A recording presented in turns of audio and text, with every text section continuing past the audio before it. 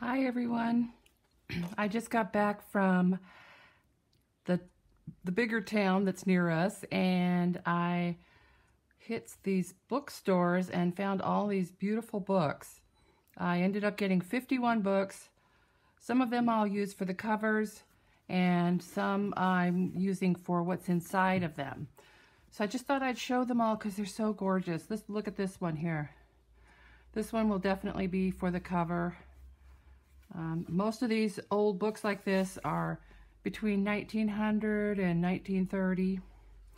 This is gorgeous. It does have beautiful text pages, but no other illustrations. And here's another pretty one. Look at that.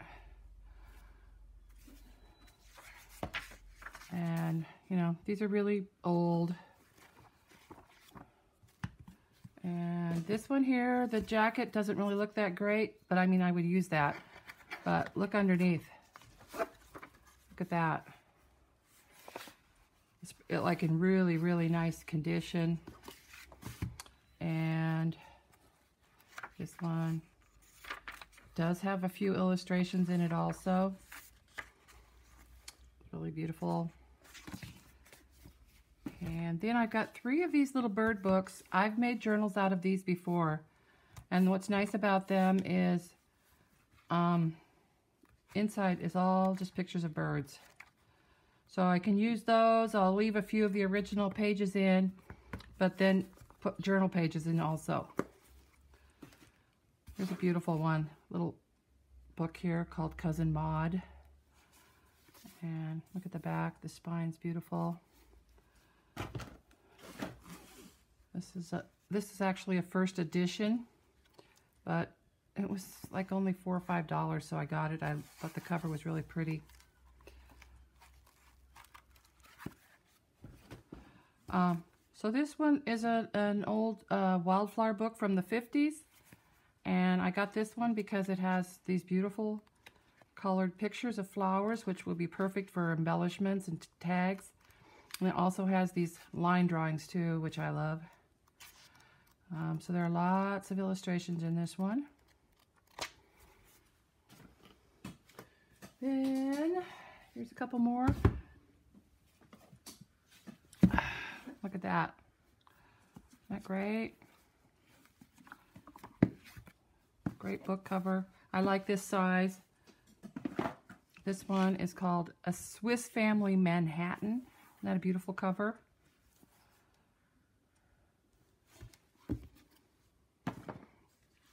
Is kind of hard to see, but um, it's gorgeous up close. This is all gilt. And I've had one of these books before by this same author. I didn't have this one. Uh, they are, it's poetry, and there are lots of illustrations in here. Which makes this a really Neat book to use. Love all the pictures. This is all gilt. This is gold. I don't know if you can see it. The Old Gentleman of the Black Stock. This beautiful cameos. Look at the spine. How pretty that is. It's in really good shape. Definitely got that for the cover are some more. This one is a children's book, and it's actually um, a book about famous paintings, and then it tells a little story about the painting. So I recognize this one. I think it's called Feeding Her Flock or something like that. That's a very famous painting. I've seen that one before. So as you can see, the print is big. It has um, black and white pictures of the artwork. And then um, a little bit about each one. And I think they chose, you know, pictures that would appeal to children. So this one's, uh, I, I know I have another print of that that's in color. So this one's really pretty. It was only $2. Has a beautiful cover. This one is not that old. I think it's from the 80s. And, but it's in really good condition. And the reason I got it is because what's on the inside, which are just these beautiful reproductions with poetry on really nice quality paper. So Definitely we'll have lots of uses for that. I got this one for the cover. Duchess of Few Clothes. Has this beautiful gilt uh, image on it. And don't think there's any illustrations in it. Uh, just for the cover. Our Common Friends and Foes. This is a children's book uh, about basically things that are pests or things that are helpful in the garden. And it does have illustrations, and they're very nice. So moths and butterflies, grubs, birds, nice pictures. No, there's not really any big full color plates or anything, but I like them. Um, this is just a children's book from the 50s. Bucky Button. It was only $2. I like the cover and inside just a really pretty vintage drawings that go with this story. So I'll probably make this into a children's themed journal and put some of the original pages in it. Isn't this gorgeous? This was actually one of the more expensive ones I bought. It's got gilt. It's got these gorgeous white flowers. And on the inside, just beautiful pages. 1904. It has beautiful prints. Look at that. Every page has, it's 1903, every page has artwork on it. I mean, every page. So look at that. They're all a little bit different. So that's a gorgeous one. And there are a few more. Um, this has a nice cover. It was only a dollar seventy-five, and not really anything in the way of illustrations, except for the author. But I'll use that. And Rebecca of Sunnybrook Farm. I thought the cover was really pretty. It's in good shape. And there might be a, yeah, there are a few illustrations in here. It's kind of that cheap pulpy paper, but I'll use them. And it was only $2, so good deal. I have a couple other books uh, of this type. They're children's stories, and they do have nice illustrations in them. See, some are color, and some are just, uh, you know, two colors.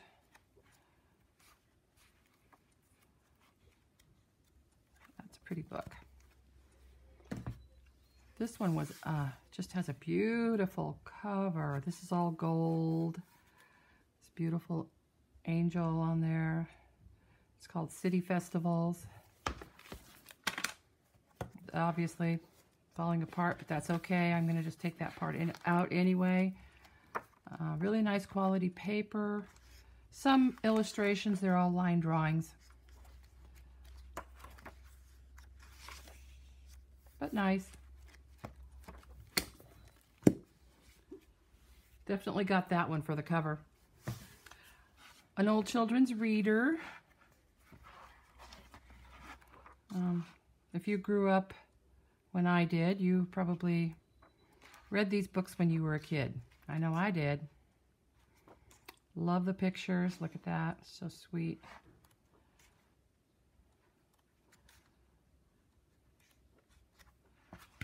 And the cover's beautiful too. This one's called Going to the Sun. It's My sister found this one. She said, this is a kind of weird one, but you'll probably like it. Uh, it's not that old. 1923, I guess it is old. So anyway, it does have some illustrations in it. Um, they're kind of bizarre creatures. And little poems to go with them. So now I will probably use these illustrations in something. The Tower of Babel Yeah, they are kind of odd, but interesting.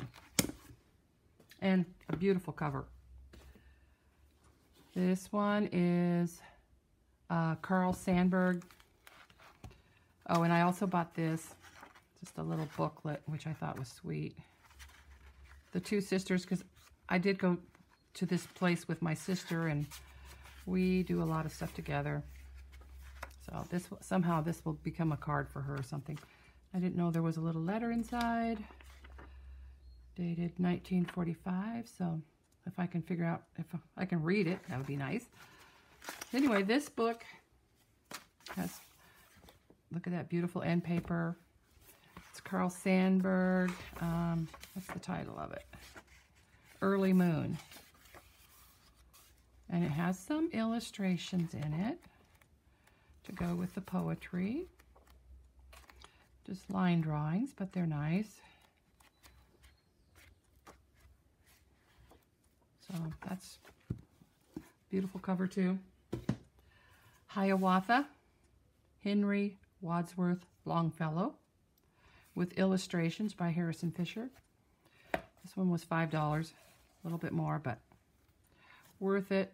It has that great um, slick, thick paper, and look at these beautiful color tinted pictures. Just love them. Here's another one. Let's see what it is. Yeah, look at that. So it's a beautiful book, and all the pages have that. I don't know if you can see the green in the background. It's kind of a like a foliage or leaves, some kind.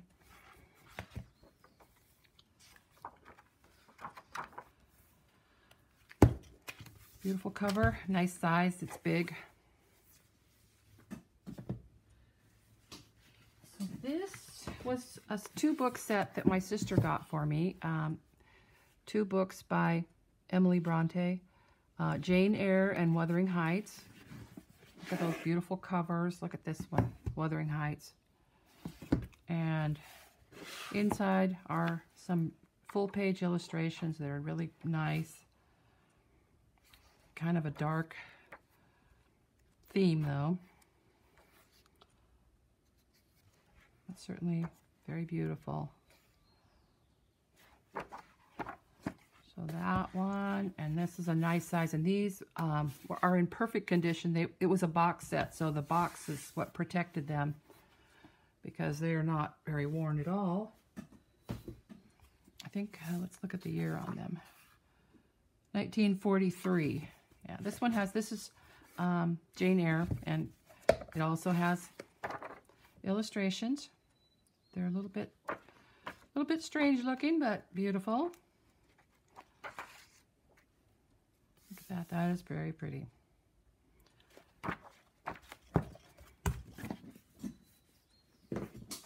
So then, these three I've got just for what was inside. And I'll, I mean, I'll use the cover for something, tags or whatever. Um, it's like a, it's a Japanese workbook or something of some kind. Yeah. It has different illustrations in it. It's like kind of like a dictionary or something. Has the writing in Chinese character Japanese characters and then also phonetically. And this one, these were both really cheap. Uh, I like the text. I'm, that's really great to use on tags or on a journal page. And has pretty illustrations too. This was actually a Christmas story. There's Santa.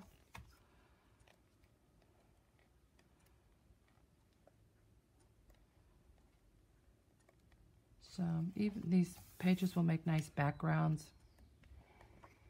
I definitely will use that. This book, um, I love this one because it's full of uh, nice illustrations, but I got it for the botanical drawings. Oh, yeah, these. Look at those. There's a whole bunch of them.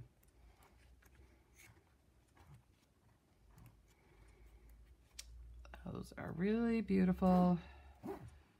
And these pages could actually be used uh, for a small journal because it, I could fold it right there and you'd have something on each side, which is nice.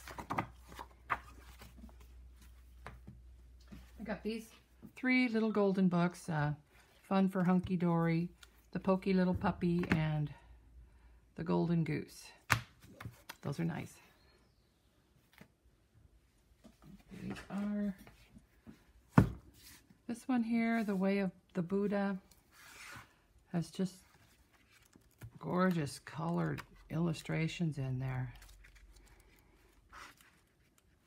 So, like the size of them.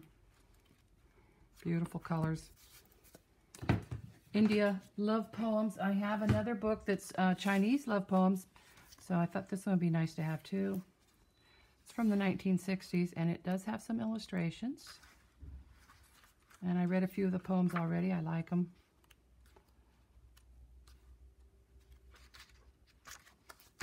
Pretty colors. That's a gorgeous book. I got this for the cover, of course. And I don't think there's really much inside that I'm going to use. I need to find a use for all that text. This one I got for the pictures. It's got great drawings of birds, which, I mean, I could just fussy cut some of these out and use them on tags or as page embellishments. And as you can see, there's tons of them. So that was definitely worth it. And I didn't pay too much for it either. So it's a good deal. And last bunch, um, Ansel Adams, very popular uh, photographer when I was young. He did a lot of photography at Yosemite, which I worked there a summer uh, cleaning cabins. So definitely I've heard of him. And I love these kind of art books that have a lot of white space.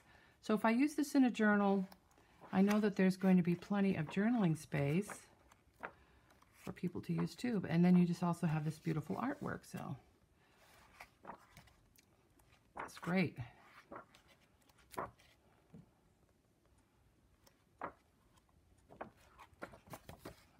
So anyway, that's a beautiful book. And this one, uh, the, the bookstore owner just threw it in for free. I actually was buying this and it was like a dollar. It is a high school chemistry club newspaper from 1943 and I really like the typewritten pages, which is why I got it. It's about how to start a victory garden, so it was during World War II. And then he threw this in for free, which was it's kind of an interesting book. I hadn't noticed it, but I if I had, I probably would have wanted to buy it. So it's it's somebody wrote a mystery novel, kind of like Murder on the Orient Express, except this one takes place on a cruise ship. Um, I'm not sure when it was written. In the 30s, yeah. It says the dates on these things are 36. So it's full of like evidence so these are things like uh, police reports, suppose handwritten kind of letters, photographs, scene of the crime. It's just uh, a lot of interesting stuff. So things like this, uh, a cablegram, some kind of report little card, see. It's all bound together. Pretty cool book. So, and um, it will be easy to take it apart because this is all that's holding it together is this ribbon. It was $17.95 originally. I got it for free. That's all the books I got. Besides going to the bookstore, we did go to Tuesday morning and Hobby Lobby and Target. And I got did get some of those seed envelopes that Target has, which are really cool. And another napkin. I don't need any more napkins, but I really like this one because you can take little bits of flowers and put them here and there, and I like that. Paper flowers. I like these. I think these are going to be fun for collage. Tissue paper with mermaids. Some blank cards, because I do make cards also. Some um, gold washi tape. This is some Tim Holtz washi tape. It's kind of all like stamps. Um, some crinkly ribbon and some clear hole reinforcers. So that's all I got. Uh, thanks for watching.